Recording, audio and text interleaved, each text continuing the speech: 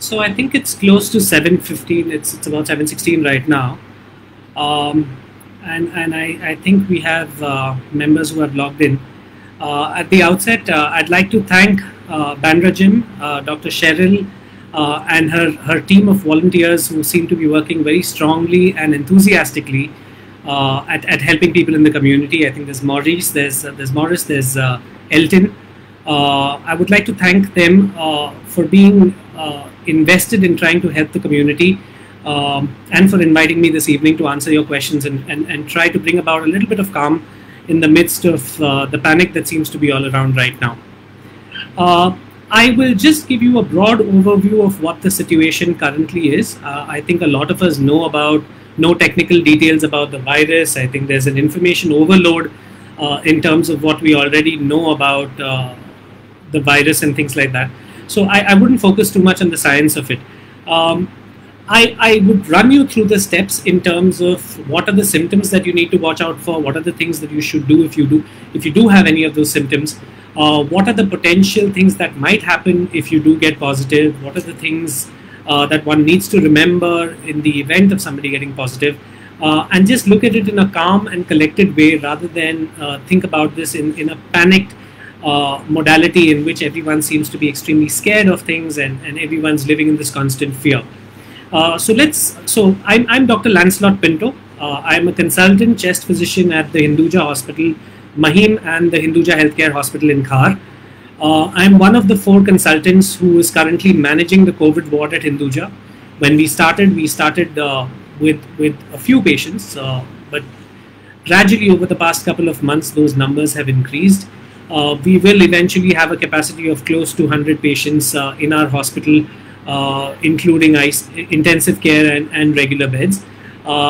So four of us consultants run a COVID ward. Uh, and what I'm going to do is share some of my experiences in terms of the kinds of patients who come to us um, and, and what to kind of expect uh, in the overall scheme of things.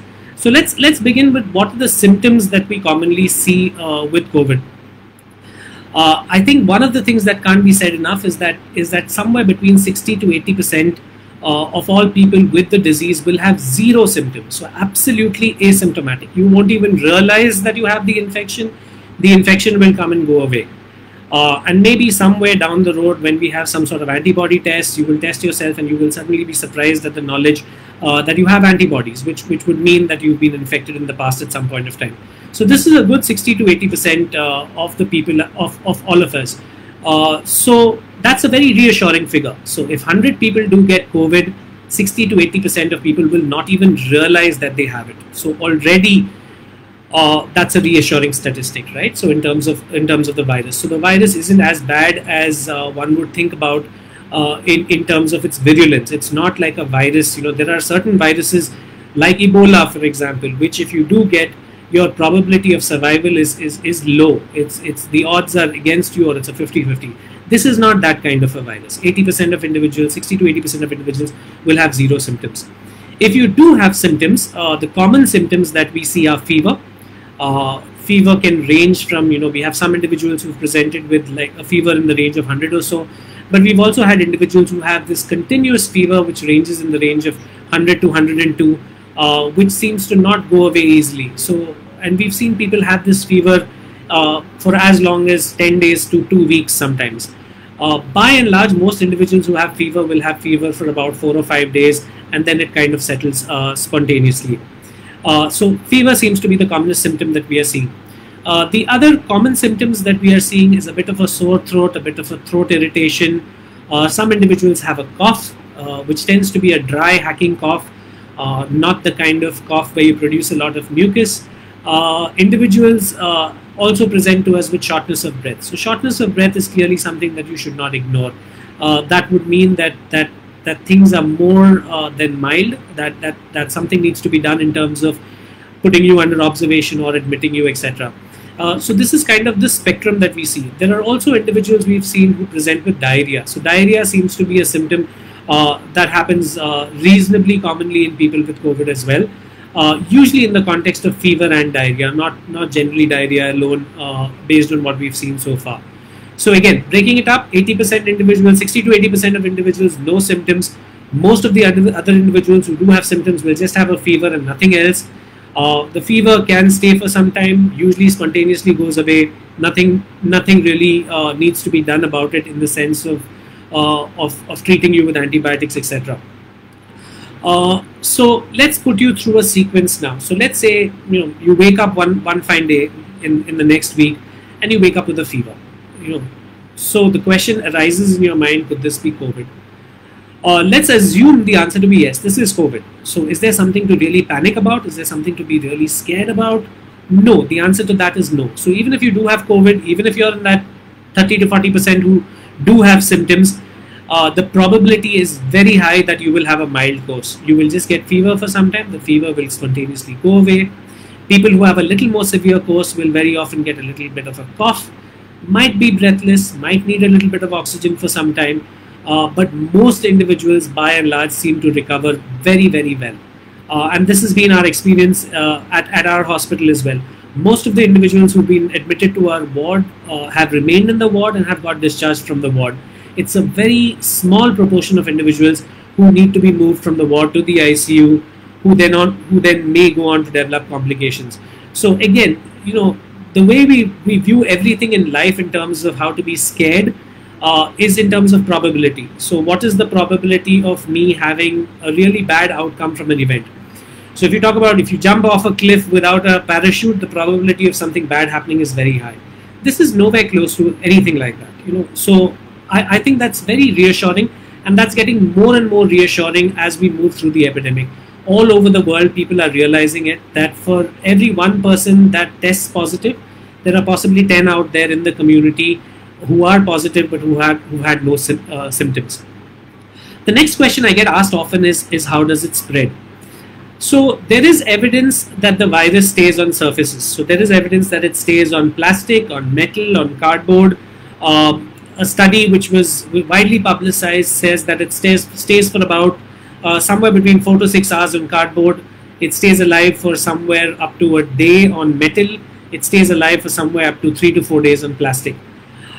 However, we are not absolutely certain that just it staying out there means that it would definitely get transmitted. By and large, we still believe that the commonest way in which it gets transmitted is person to person uh, and person to person in the form of droplets. So every time we breathe, every time we cough, every time we sneeze, human beings tend to produce a cloud of droplets around themselves. And when somebody inhales that cloud of droplets, that's that's when you potentially can catch the infection which is where the concept of staying at a distance comes from, which is where the concept of wearing a mask comes from. So if you stay at a distance of about six feet away from an individual, you are not in that cloud of droplets that an individual produces, as a result of which you are less likely to inhale any of the droplets that the individual exhales. Similarly, if you're wearing a mask, you, if you're wearing a mask, you're less likely to infect others. So masks may not be great at preventing infection from others, especially the standard three-ply or the cloth, cloth masks, but they are a great way of spreading or of preventing the spread of infection to others. So if you are infected and you don't have any symptoms, you don't even know that you're infected, if you are wearing a mask, you're very less likely to spread it to others. So the concept being if you and I are having a conversation, both of us are wearing masks, either of us could be infected, but we are kind of protecting the other person by wearing a mask. So I, I think nothing can be emphasized more uh, as the importance of wearing masks all the time, especially when you're outdoors. Um, the third thing that cannot be emphasized enough is hand washing. You know, so people ask me questions like, do we really need to wash our vegetables in soap water? Do we need to be paranoid about every surface we touch? The answer to that is let's assume that it's on vegetables. Even if it is on vegetables, the way you are going to get it from that vegetables is still touching the vegetable and then touching your face. So as long as you keep your hands away from your face, as long as you keep washing your hands throughout the day, even if it is on surfaces and even if that's a way in which it can spread, you will not catch it as long as you don't touch your face or touch your nose. Uh, which is why masks also come in handy when you're going outside because the very the very act of wearing a mask prevents you from touching your face. So say you go outside to a grocery store, say the handle of that grocery store, say the handle of the door to that grocery store um, has virus on it. If you are wearing a mask, even if you touch it and you don't touch your face after that, you are not going to catch the virus. You know, you need to therefore frequently wash your hands. So every time you come from outside, you come back home, You need to make sure you wash your hands every time you go outside. You need to make sure you wear a mask. Uh, and I think these are the strongest tools against uh, catching the virus. Um, washing stuff obsessively, you know, trying to completely uh, control the situation by going overboard, uh, I think is something that leads to more panic, leads to more anxiety. Uh, and, and I think keeping the instructions simpler uh, is much easier to follow than, than, than trying to create a complex, sterile environment around you. You know, viruses are something that are there everywhere, uh, and, and trying to control uh, that story, the, the story of where the virus is, where it is, you know, how many surfaces you need to sterilize around you, is much more difficult than controlling yourself. You know, washing your hands, wearing a mask, preventing touching uh, touching your face. I think these are the most important things. Um, also, there is, the, you know, based on the numbers that we are seeing, um, I think it would be fair to assume all over the world that most individuals will get in, infected over the next year or two. Uh, the idea of preventing that infection or the idea of pushing that infection to the future is that let's say two months down the road there is a miracle drug that comes out let's say six months to a year down the road there is a vaccine that comes up so you would want to try and push your infection to a state where there is some sort of a protection which is available either in the form of a drug or a vaccine. And I think that's the key. That's the that's the primary reason why we should all do our bit to postpone the infection. I don't think we are going to succeed in trying to completely avoid uh, the the viral infection by and large. Uh, so be sensible in what you're doing, but I don't think we should go completely overboard such that it leads to a lot of anxiety and it messes with your mental health at the end of the day which can have its own manifestations. Um, so let's move on to the next step. So I've woken up in the morning with a fever. Uh, what do I do next? Uh, the ideal thing to do next is to get yourself swabbed, to get, get a nasopharyngeal swab. So the swab has to be the nose and the throat. A throat swab alone is not very good. It'll miss about 70% of infections. It has to be the nose and the throat, and, and I think most labs are doing it right now uh, how do you get to a lab, how do you get to getting the swab is through a doctor. Unfortunately, you will not be able to walk into a lab directly and say that I want a swab. So you will need to contact your doctor. Uh, the unfortunate part as of now is that the BMC does not allow a doctor to prescribe that swab over the phone or over teleconsultations. So you will unfortunately have to physically see a doctor who will write that prescription, put the stamp on it, and justify the reason why why the swab is being done. So it's a standardized form which is there from the BMC, which all the labs provide, where the doctor tick marks says, okay, this person has fever, this person has a sore throat, and therefore needs a swab. Uh, you get the swab done. Usually the turnaround time is about a day nowadays. So within a day, usually you will get the result uh, of the swab. So for people in Bandra, uh, I'm sure the labs do it. Hinduja is also an option. If you want to get a swab done, you can present to the emergency department in Hinduja with a prescription for a swab and, and we can do it uh, uh, at Hinduja. Now, the next possibility, two things will happen. Either your test comes positive or your test comes negative. If your test comes negative, unfortunately, it does not mean that you do not have COVID. The test picks up about 70% of individuals who have COVID, it misses about 30% of individuals. So, what I would suggest is if the test comes negative and you just have fever, for example, you don't have any other symptoms like breathlessness, you seem otherwise fine, uh, the main thing would be to then prevent the infection spreading to others in your family. So try and quarantine yourself as much as possible. Um, put yourself in a room uh, with an attached toilet uh, so that you don't interact with other people. Protect the elderly in your family, especially if you have elderly people and you're a young person. If you're, say, the person who's been doing groceries, etc., you protected the elderly and now you have a fever uh, just make make sure as much as you can that you don't spread it to them because they are the most vulnerable in this disease. Uh, so to I would strongly suggest that you self quarantine for a minimum of 10 days uh, if your swab is negative. Now, if your swab comes positive, it means you have a COVID infection. Again, I don't think there's any reason to panic or to fear. Uh, the BMC right now is allowing people to home quarantine. So you can just choose to quarantine yourself at home as long as you have a room with an attached toilet. So if you have a room with an attached toilet, uh, the BMC lets you home quarantine. They also have other criteria. You need to ideally be under 60. Uh, you need to not have any comorbidities, which means that you can't be a patient who has really severe diabetes or you have heart disease, or you have any other comorbidity that puts you at a slightly higher risk, uh, in which case they may not let you uh, quarantine at home. Uh, as as citizens of the community, I would strongly. So one of the first things that I did was was speak to my uh, building secretary and say that we should strongly encourage people to home quarantine if they can. Uh, and I and I think that's something that we should all accept as a community. We should not stigmatize individuals who live within the community and who choose to home quarantine.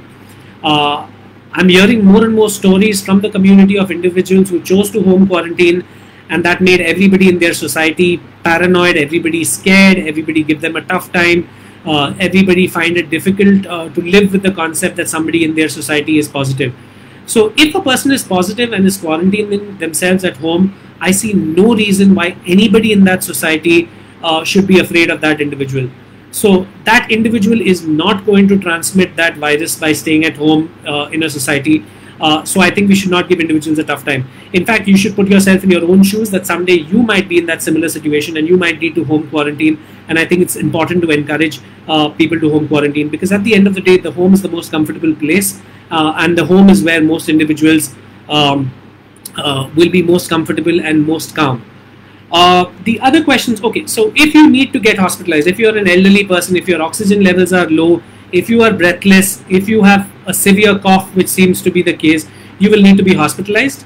Um, uh, the hospital, and there are there are again two categories of this. There are categories where you where you will be allowed to get admitted to a hospital, or there is a category in which you will be allowed to get admitted to a quarantine center, uh, which is kind of a step down from a hospital where you will have a doctor who will monitor you. You will have somebody who will monitor you during the course of a day uh, and you will be then shifted to a hospital if at any point of time they feel you're you're, you're on the edge. Uh, but otherwise, you will be allowed to stay in a quarantine center, which uh, would be one of the halls. So I think you know places like NSCI, for example, is a hall, uh, and there are similar Goregaon Sports Complex. I think there are there are a bunch of halls which are available uh, in the city, which the BMC has taken over, which are supervised by doctors. Uh, but but are not hospitals because you don't need the care that that a hospital will provide that also helps us keep our beds in the hospital for individuals who are really sick and who need to be in a hospital. If you need admission to a hospital, that's where it can get a little challenging, and that's where uh, I think Dr. Cheryl and her team uh, have been very kind enough to set up a cell which will do their best to try and get you a hospital bed. Uh, a useful number to remember is 1916. Uh, that's the BMC official helpline. You can call them up. You can tell them that you've been tested positive and you really need a bed you can tell them that you have a preference of a private healthcare versus a public healthcare if you do have such a preference, uh, and they will do their best to find you a bed. And, and that's a useful resource because honestly, they are the people who really know what the bed situation across the city is. Uh, calling up individual hospitals and trying to get beds can be challenging, uh, but that's where you know if you have the resources of a bunch of volunteers who, who are who are happy to do that uh, to help you out. I think I think that's that's very useful uh, uh, uh to have to help you uh, find a bed. Uh, if you do get admitted to a hospital, again, most of what we're doing is ob- observe patients. There is no drug as of now which is shown to be conclusively proven to help uh, in COVID.